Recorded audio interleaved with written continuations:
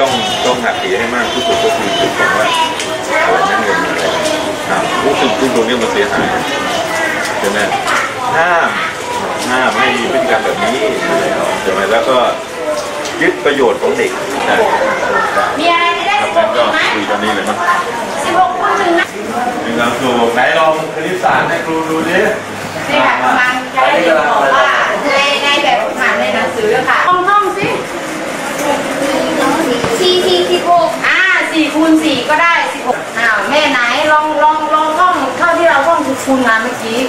อะไรที่คูณกันแล้วแต่ขอบมือขอบมืออะขอบคุณครับสิขอบคุณครับครับด้วยเออขอบคุณอ่าครับมีคำตอบอื่นอีกค่ะ ใครจะตอบอีกไหมนอกกลับมาก็ผมก็มอบหมายให้สอนเพราะขอให้สอนสองอาทิตย์แต่จริงมันมีประเด็นอื่นท่านก็ผมก็บอกว่า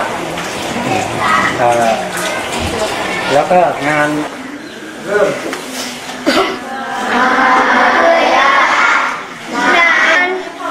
หนึ่งไม่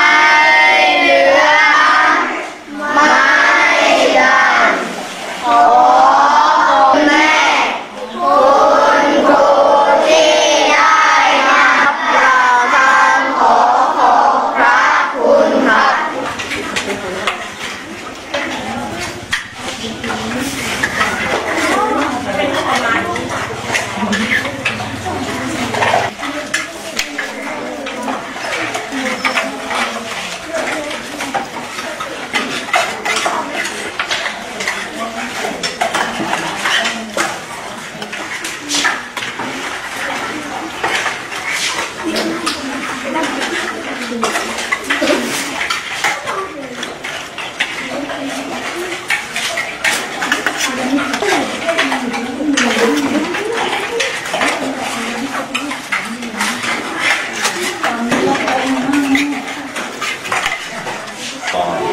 ชุมชนอะ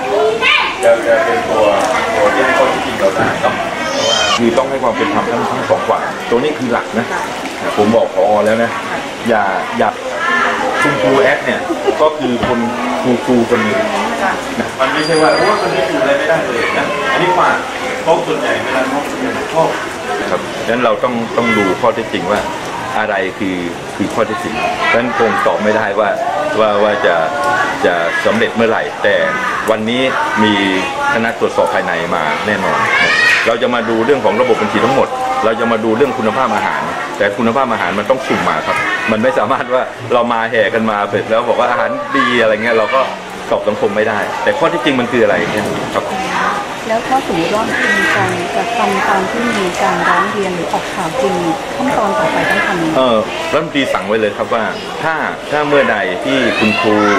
ผู้บริหารทำอะไรที่ไม่ถูกต้องให้ยึด ประโยชน์ที่เกิดขึ้นกับเด็กเป็นสำคัญครับเพราะฉะนั้นผมก็ยึดตามนโยบายท่านรัฐมนตรีครับ เราจะไม่บอกว่าใครจะถูกกระทบอะไรบ้าง ถ้าถ้าเป็นแบบนั้นนะเราจะดูแค่ว่าเด็กนักเรียนถูกกระทบ ถ้าเด็กนักเรียนถูกกระทบจริง คนที่ทำผลที่ไม่ดีกับเด็กนักเรียนเราต้องต้องคำนึงตรงนี้นะแต่คงตอบไม่ได้นะครับว่าขอขอดูหลักฐานก่อน แต่โดยโดยความเชื่อมั่นเนี่ยที่โรงเรียนทั้งหมดที่เราไปไปดูแลเนี่ยเราเชื่อมั่นครับว่าแล้วก็กำชับที่ประชุมผู้บริหารแต่เดี๋ยวนี้ก็ประชุมไปแล้ว ก็กำชับเรื่องนี้นะครับนโยบายของรัฐมนตรีเนี่ยถือว่าเป็นสิ่งที่เราต้องต้องดำเนินการครับ